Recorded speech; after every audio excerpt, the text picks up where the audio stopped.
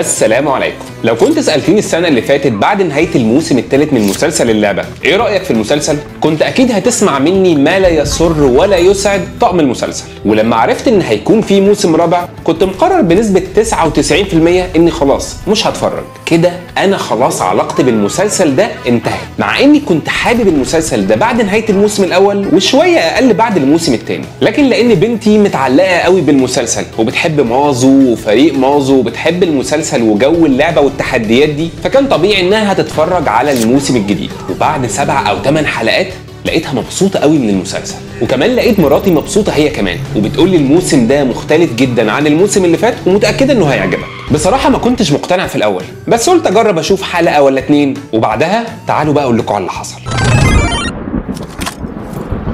أهلا بيكم مرة تانية. أنا أحمد غانم. في البداية يا ريت ما تنسوش تشتركوا في القناة وتفعلوا زر الجرس وكمان تعملوا like و share. بقول لك إيه يا لعبة؟ اعرف انت بتلعبي مين؟ أنا ماظو وده وسيم. احرف اتنين في اللعبه لو مش عارفة تلعبينا نجيب حد تاني يلعبنا. يبقى توكلنا على الله.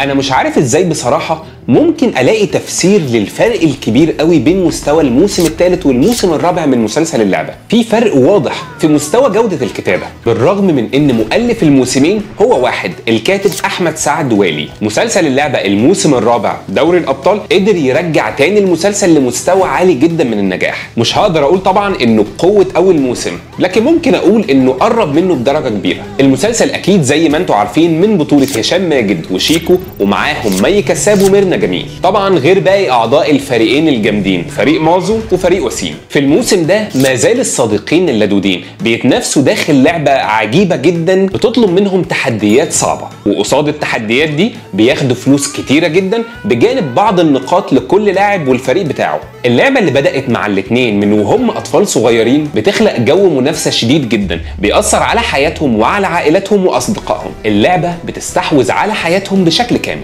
وفي الموسم ده اللعبة بترجع ترتفع تاني لمستوى عالي جدا في التحديات بتاعتها. وفعلا بتطلب تحديات صعبة. وأثناء اللعب بنشوف مستوى عالي جدا من الكوميديا من كل لاعبين الفريقين. كوميديا مبنية على التناقض بين طبيعة الشخصيات الغريبة وعلى مستوى ذكائهم المحدود جدا مقارنة باللاعبين الرئيسيين ماظو ووسيم. لكن الإضافة الجديدة في الموسم ده إن التحديات نفسها دمها خفيف هتخليك تضحك بعيدا عن تصرفات الشخصيات وردود أفعالها الغريبة. اللعبة نفسها بتكون مصدر للضحك. وهنا اسمحوا لي أتكلم شوية عن مشكلتي مع الموسم الثالث اللي كانت مخلياني مقرر اني ما اتفرجش على الموسم ده. المشكلة الكبرى كانت في النص. مستوى الكتابة الموسم اللي فات كان سيء جدا. ممكن تقول إن 80% منه عبارة عن تكرار لإفيهات وكوميكس وتعليقات من ال social media. كان في استسهال سيء جدا في كتابة الحوارات وابتكار التحديات وحتى في قيمة جوائز كل تحدي. الشخصيات كلها تقريبا ما كانش عندها جديد تقوله أو تعمله. ما كانش فيه ضحك طالع من الشخصيات أو حتى عليهم. كل العيوب دي تقريبا اختفت بنسبة كبيرة قوي مع الموسم الرابع. تقدر تقول إن كل شخصية قدرت تستعيد التوازن بتاعها داخل العمل. العلاقة بين مازو وشيماء والتنافر اللي بينهم والعلاقة الملزقة قوي بين وسيم وإسراء بجانب تعاملات كل واحد منهم مع أعضاء فريقه ومعاناته معاهم. التحديات كانت مكتوبة بذكاء وببساطة. ما كانش فيها تعقيدات كتير قوي. كان التركيز الأكبر على ردود أفعال كل لاعب في الفريقين ومحاولة خلق ضحك حقيقي من ردود أفعالهم وهم في المواقف لما كانوا بيلعبوا. ممكن أقول أكتر حاجة فاجئتني في الموسم ده وكنت خايف منها بصراحة هو التحول اللي حصل لجميل التغير الاجتماعي اللي حصل له لما اتنقل لل compound وكنت مستني أشوف إيه اللي هيطلع من شخصيته بعد التغير ده. لكن بصراحة النتيجة كانت لطيفة فعلا. ميرنا جميل ومي كساب عملوا أدوارهم بشكل جميل جدا. مبسوط أكتر من مي كساب بصراحة لأنها قدرت ترجع لمستوى عالي جدا بعد ما كان مستواها في الموسم الثالث وحش قوي. اللي مش شايف إن حصل له أي تقدم أو تطور في شخصيته هو أحمد فتحي اللي بيقوم بدور سعدون كنت مستني منه إن دوره وأداؤه يعلى أكتر ويوصل زي ما كان في الموسم الأول. لكن للأسف ده ما حصلش. محمد أوتاكا اللي بيقوم بدور غريب. كان أفضل بكتير الموسم ده وظهر اجتهاده في أكتر من موقف. عارفه عبد الرسول وسامي مغاوري؟ عملوا أدوارهم زي ما هي لا أكتر ولا أقل. بيأدوا على قد اللي مكتوب ليهم. اللي ما حسيتش بيه بصراحة هو محمد عمرو الليسي اللي بيقوم بدور عصفورة. مش شايف إن كان في أي جديد عنده. الله يا روايح زمن النصب الجميل هفهفي. فلتبدأ الحفلة.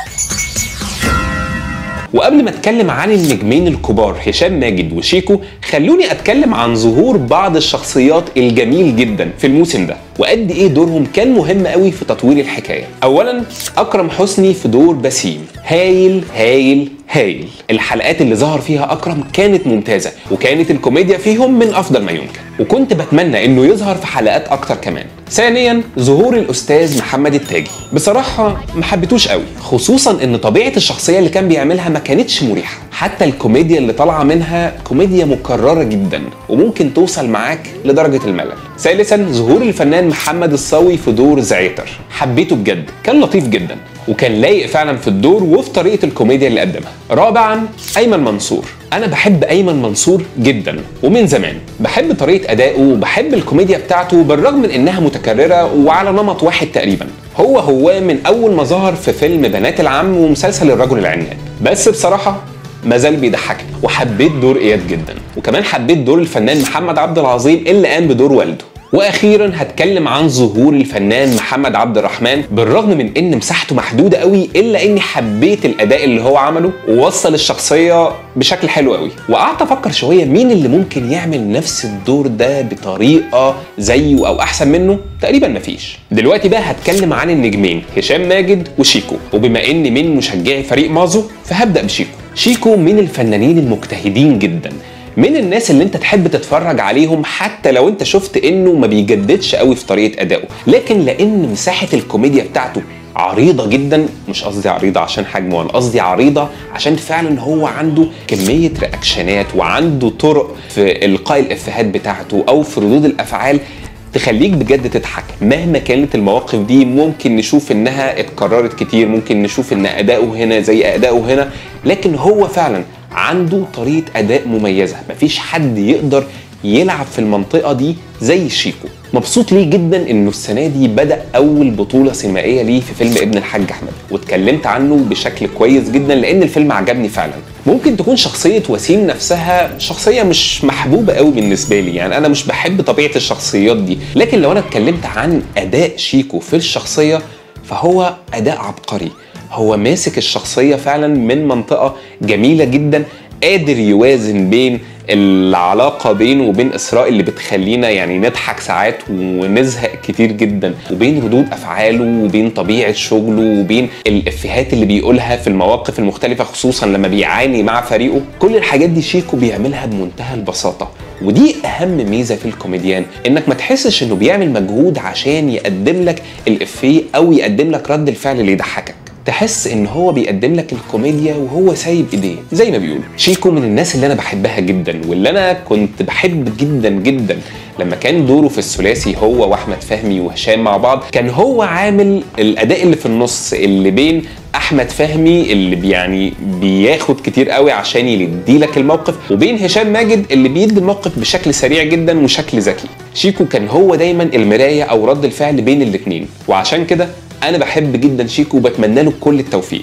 اما النجم هشام ماجد فده لازم اتكلم عنه كتير قوي لأن هشام عنده تحدي كبير جدا. إحنا تعودنا في التاريخ الطويل بتاعنا ان إحنا دايما نشوف الكوميديان يبقى شخص character يعني شخص شكله مش تقليدي شكله مش نمطي أكيد. أكيد لازم ما يكونش وسيم لازم ما يكونش شكله حلو قوي. فإن يجي واحد زي هشام ماجد بكل مواصفاته الشكلية دي ويكون شكله أقرب لل jeune premier ويبقى ناجح جدا في الكوميديا أنا شايف إن ده نجاح كبير جدا ليه. الوحيد اللي كان عمل ده قبل كده كان هو محمود عبد العزيز الله يرحمه. فهشام ماجد قادر يعمل ده وببساطة وبدون تكلف وبدون مجهود وبدون أفورة. هو فعلا قادر يديك الأداء الكوميدي البسيط من الشخصية ال- ال- الذكية الشخصية اللي ما عندهاش مشاكل الشخصية اللي بتعاني مع الآخرين اللي حواليها واللي هي بتضطر كل مرة إن هي تصلح اللي بيعملوه. كوميديا الشخص الذكي كوميديا مش سهلة أبدا. أنت ممكن تزهق منها بعد شوية. محتاجة إن الممثل اللي يعمل النوع ده